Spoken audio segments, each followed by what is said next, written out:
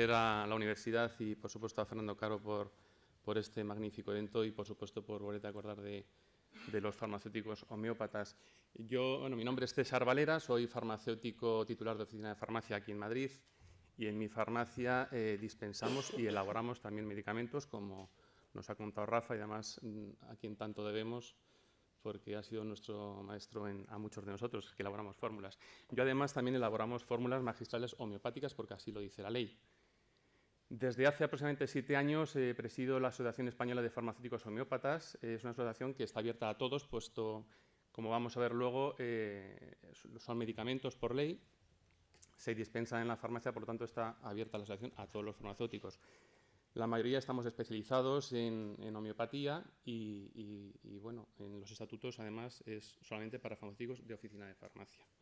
Yo me voy a centrar en mi exposición en la diferencia en cuanto a formación de España con Europa, porque la homeopatía en España en los últimos 30 años ha evolucionado muchísimo, era una gran desconocida y legalmente ahora lo vamos a ver, eh, bueno, pues eh, hemos evolucionado, pero en temas de formación estamos todavía muy lejos de otros países europeos, como vamos a ver.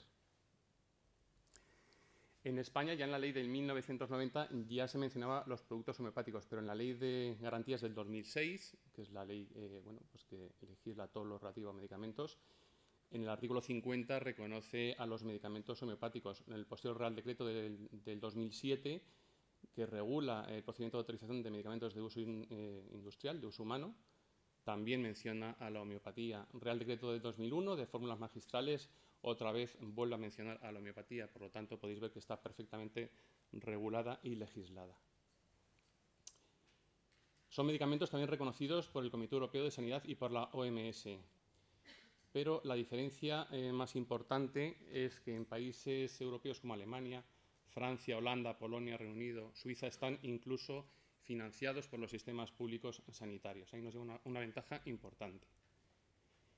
En temas de regulación formativa en Europa eh, existen másteres universitarios reglados en Alemania, Austria, Bélgica, Francia y además en el grado de farmacia incluso existe una asignatura básica de formación mínima necesaria, puesto que es una terapéutica muy compleja, se manejan más de 2.500 cepas homeopáticas, es una galénica muy peculiar, por lo tanto es indispensable que el farmacéutico que va a dispensar esos medicamentos pues, eh, los conozca en profundidad y por lo menos para el tema de, de la administración, la posología, etc.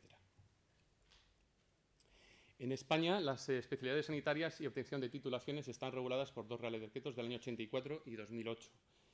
Sus desarrollos y modificaciones corresponden al Gobierno a propuesta del Ministerio de Educación y de Sanidad, pero siempre previo informe de los consejos de universidades, del Consejo Nacional de Especialidades Médicas y de la Organización Médica Colegial.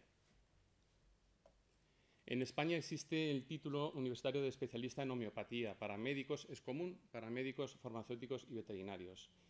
Lo que pasa es que luego hay diversos cursos de posgrado organizados por uh, colegios profesionales, sociedades y asociaciones pues, como AEFOM que sirve un poco pues, bueno, para poner al día en esta materia al farmacéutico que luego los va a dispensar. Por tanto, en España, por la evolución de esta terapéutica en los últimos años, de un estudio que se hizo hace tres años por las 11 vocalías de, de plantas y homeopatía de los colegios en colaboración con AEFOM, aproximadamente el 50% de la población se trata o se ha tratado con estos medicamentos.